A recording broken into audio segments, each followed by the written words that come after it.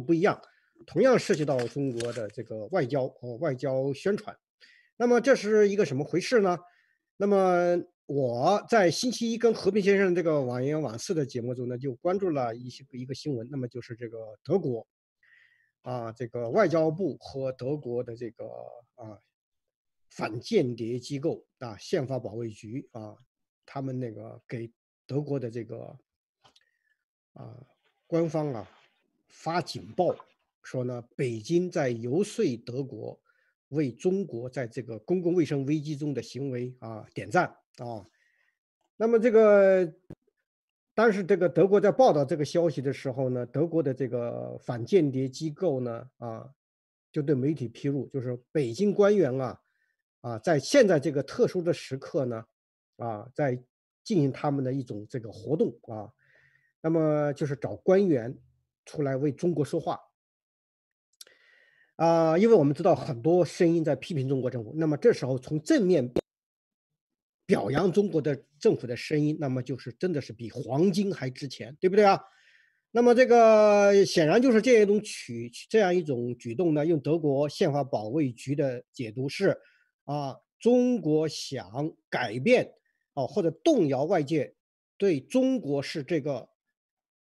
起源地的认知啊，并且突出中国。为西方国家提供援助的举动啊，从而展现中华人民共和国作为可信赖的合作伙伴，正以冷静的姿态应对这样一种危机，并构筑这样一种形象啊，这是啊我们刚刚看到的在德国发生的新闻。但是呢，德国的事情好像只是中国这一场行动中的一个部分啊。那么在美国呢，我们也看到了同样的一幕。那么这就是昨天最新的消息发出来的。就是中国这个驻芝加哥领事馆啊，那么这个一位领事的夫人，在这个里面呢，发生了一个故事。那么这个领事的夫人呢，她是怎么回事呢？啊，他是这个情况是这样，就是二月二十六号，威斯康星州啊参议员。参议院的议长罗斯啊，他收到一份这个邮件啊，二月二十六号收到的，是中国驻芝加哥总领事赵建的夫人吴婷以私人邮箱发送的邮件。刚开始时候呢，他以为这个邮件呢是个恶作剧，没有给他理会啊。那么到三月十号的十号时候呢，他又收到了第二封邮件啊。那么他的工作人员确认这个邮件呢为中国领馆发出。啊，然后呢，中国方面呢，告诉这个议长，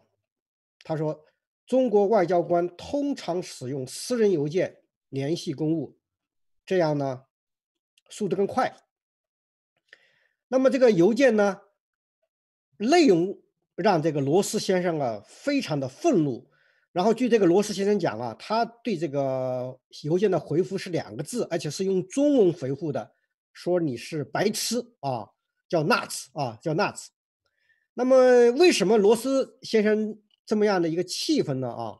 就是这个信里头啊，这个希望威斯康星的参议院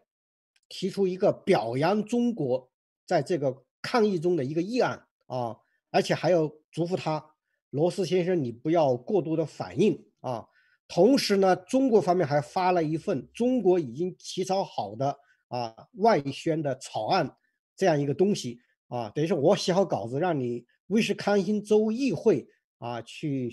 去照办啊，就这么个东西。那么我给大家介绍一下中国官方草拟的这个让威斯康星议会通过的这个决议案是什么呢？啊，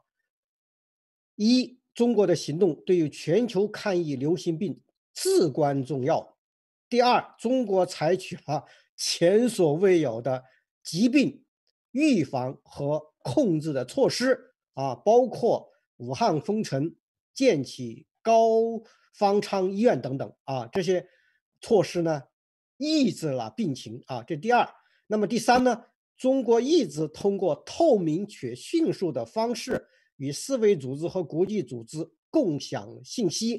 啊。为其他国家提供了及时应对的机会之窗啊！所以说这个故事啊，你说起来的话，真的是像天书。但是呢，由于这个信息呢，披露的是威斯康星参议院的议长啊，这么一个权威人物，因此呢，它的真实性似乎呢是毋庸置疑的。所以说呢，这么一个事情呢，啊，我们正好是两位嘉宾都是老新闻啊从业者，我们先听听薛崇阳先生你怎么看这个事件？嗯。呃，我是觉得呢，这个啊，这这是这个工作做的很笨拙，因为这个任何这个差不多的国家，尤其是中国，那么在美国，在华府也好，或者是在其他几个重要的城市也好，都有他的公关的代理人，这些的公关代理人都有在美国国务院里面有登记，就是他们是合法的游说者。如果说要给中国打形象，要能够澄清中国受到外界的这些的误解，那么这些正是使用这些公关人他们来进行，包括了在报纸上面或者是在其他的民意代表上面游说活动。那么这些游这个中国每一年肯定也花了不少的这种费用在这一些游说的专业人士身上，那么由他们来进行游说的工作来。这个来这个进行对中国的这个比较正面形象的这些宣传，这是呃理所当然是合理的，但是却要去由一个这个由这个中国领事馆它本身领事的夫人用私人邮件来进行这样子的一种的这个呃游说活动，甚至于还帮助还帮着这个威斯康星州的参议院的议长写好了。这个呃，请威斯康星州能够在议会里面提案的这个全案的草案的案文，那么这是感觉上就是非常的这个很笨拙的这样子的一种公关的一种做法。事实上，美国美国的政界人士他们都很讨厌被被动，他们很愿意来在这个帮助对他们自己有利的时候，那么或者是说在他们认同的时候。他们愿意去帮助一些人，那么来做一些事情。但是如果说你去来指使他，去要求他，去这个来照你的意愿来进行这个一些的这个呃类似这样子的一些的活动，那么甚至于是说，那么送他一点小礼物，然后这个让他来帮你来做一些呃一些这个这个呃超过他超过他本意愿的这些工作的话，那是。非常反的效果的，那是那那绝对是这个反效果的一件事情，所以，呃，我觉得这一件事情是一种很粗糙的一个一一个一个一个作为，而另外一方面，在啊，根据这些来自于这个媒体的一些的报道，在最近以来，在这个呃，可能是来自于中呃，在中国外交部的指令，就是在各个地方的外交人员现在。都要去跟当地的新闻媒体或者是当地的政商界来说明，在中国这一次疫情是透明的，中国是尽了一切的这个公共卫生的这种呃这种能力来这个控制疫情，而且是成功的战胜了疫情，要有这样子的一种的这个说法，有这样子的一种态度。那么我这个现这也不只是。在威斯康星州所发生的这件事情，那么在德国，那么刚刚陈先生也提到了，在德国也也也有这样子的一个一个呃情况。那么德国外交部的机密文件说，德国在三月份，呃呃，在这个呃就收到了中共就疫情要求德国的一些赞扬的这样子的一些的呃要求，那么也有很多。那么另外呢，那么在这个法国，那么法国的外交部长这个在啊十四号呢，也召见了中国驻法国大使卢沙野。那么对于卢沙野最近在法国的一些的言论呢，批评法国的一些的说法，那表达他这个啊不满。那么这也是在呃法国也是被认为呢是。啊，在这个对这个对这个中国驻法国的大使馆所表现的战狼外交式的那种强硬的态度呢，是非常的这个不愉快。所以这是根据这个自由亚洲所做的一个报道，就说这个法国的外交部长呢，在昨天召见了中共驻法国大使卢沙野，那么对卢沙野提出了这这样子的抗议。而卢沙野是在公开的讲话以及他所发表的一个文章，在在这个媒体上面都说是这个批评法国对中国呢这个抗议的胜利没有正面的来看待，对这个呃中国所做的努力没有正面的评价啊。那么所以呢，这个法国的外长呢也对这样子的一种结果他也很也很生气。不过像这样的一个情况看起来。现在在世界各个国家里面的中国的外交人员都有相同的一些的作为，就是努力的宣传啊，在中国这一次抗疫啊是一个成功的抗疫，是一个是一个胜利的抗疫，而且呢是一个透明，而且是一个是科学的那么这样子的一种做做法。我想这可能也是来自于外交部的统一的一个全球的一个行动。嗯，谢谢。这个薛先生啊，说到了这个外交部的一个全球的统一行动啊。那么我们看到，在德国、在美国都发生这样一个情况。那么我们前面一个话题谈的是北京在日本搞的这个“战狼外交”。那么我们现在又看到呢，这个芝加哥领事馆这边呢啊，被美国的这个威斯康星州啊参议院的议长那批评为“白痴”的这种外交行动。那么我呢，在威斯康星州啊待了很多年啊，这个州议会呢大楼呢我也特别熟悉，因为威威斯康星州的这个首府啊在麦麦迪逊，那么这个地方的这个麦迪逊的这个啊，你要去那参观的话呢，这个看建筑的话呢，一个主要的建筑就是这个 立法大楼啊，这个州议会，这个州议会当年啊被啊威斯康星州的。教师啊，学生给占领了，啊，大概有一两个月的时间，那天天都是在那儿啊，连会这个，啊啊，我觉得美国挺逗的啊，这个楼啊你给占领了啊，底下的这个锣鼓喧天的，啊，也没有警察来干预啊，就让他们一直抗议占领这个州议会将近两个月时间啊，那楼上呢，呃，他们会召开不误啊，这也挺有挺有意思的。那么就是这个这个大楼里头啊，这么这么一个地方，嗯，所以我对那地方。比较熟悉，那么我们的这个观众啊，在啊听我们讨论这个节目的时候呢，就有的人啊在解读说，这个外交人员啊也带着任务啊，他们也不容易啊，所以说最后呢导致这样一种这个啊一种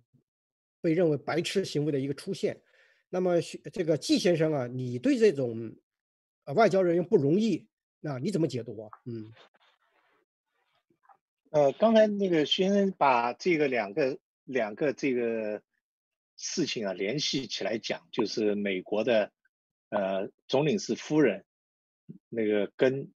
这个法国的法国的大使的文章，嗯，联系起来讲，这个实际上呃不是一个外交部的一个一个号令，应该是这个中宣部或者说常委会交代的一个。大外宣的，呃，最近的一个重点，嗯嗯嗯，就我本来认为，就是你刚才讲的，那个威斯康星州发生的那个总领事的夫人，呃，这个案个案子，我本来以为只是一个个案，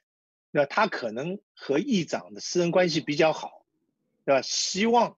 那个通过私人的面子，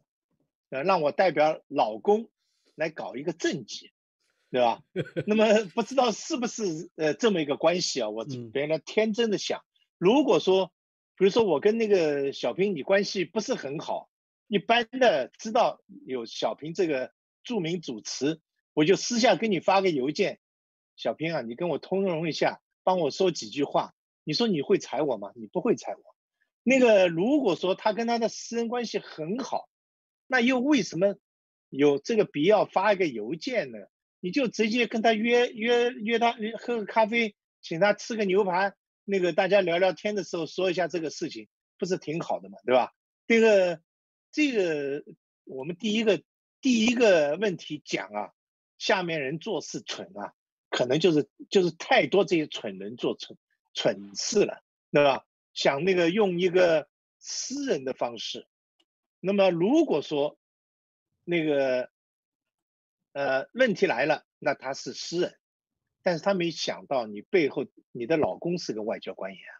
对吧？那么当然这些年中国比较注重公共外交，夫人外交也是公共外交的一部分。那以私人关系来办办公事，只要对国家有利，都是好的。万一做好了呢，不是给老公带来了政绩吗？但是问题是你这一次你就掉沟里去了，对吧？你跟人家关系也不好，对吧？那个也根本没什么私人交情，你就随便发一封信，不行再发第二封信，结果你反而招招来了灭顶之灾。那那个议长不仅不为你说话，而且要求议会确认中国故意在新冠肺炎的这个疫情当中误导全世界。对吧？然后要通过七号的这个提议案来来来递交，对吧？那个呃，你把反而把这个事情那个引出新的问题来了，激怒了人家。本来他可能还没有现在要做这个事情，对吧？那你反而就就是你要去用民间的方式做公共外交，结果你不尊重那个对方。不尊重当地的文化，你就把事情做糟了。那就像法国那个外长召见中国大使一样，那他也是为了推动在法国的大外宣，啊，夸耀中国抗疫模式。那么这个当中却去批评西方国家的处理不当，当然肯定是讲到法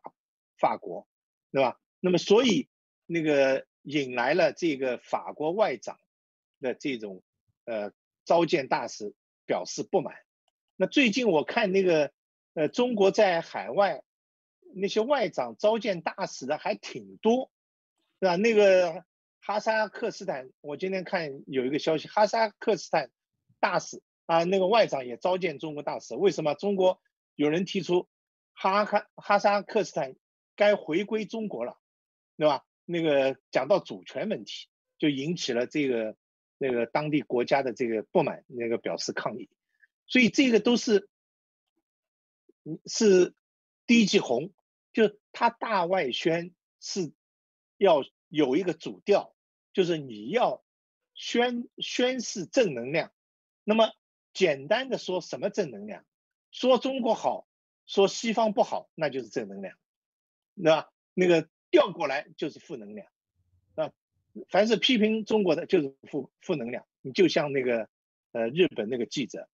在读满新闻写写文章，那这个就是负对中国来说就是负能量。所以大外宣，它这个确定的这个主流，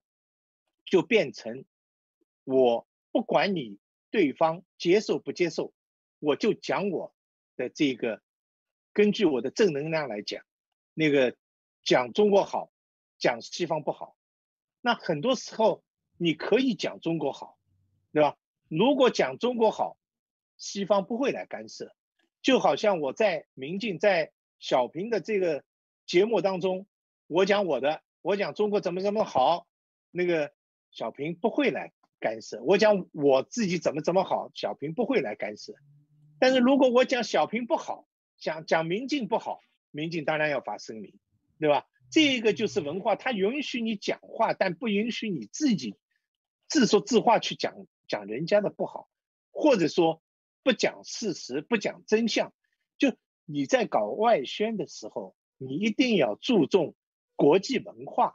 你别以为我有钱了，我站在这个世界上，这个世界就是我的了，对吧？世界是不是你的，是看你能不能融入到这个世界文化当中去。能不能尊重当地国家、当地文化，这个是非常重要。中国也希望世界尊重中国，但是你在希望世界尊重中国的同时，你必须要尊重这个国际社会。小平，这是我的观察。好，那个这个话题呢，我们今天这个正好呢，啊，三个小时这个点上呢收尾了啊。啊，这个故事呢，虽然是听起来像天书啊，天书一般的故事，但是确确实实，它是发生在这个芝加哥总领事馆和威斯康星州啊参议院议长之间的这么一个故事。这两天，这个议长啊，不断的接受啊这个啊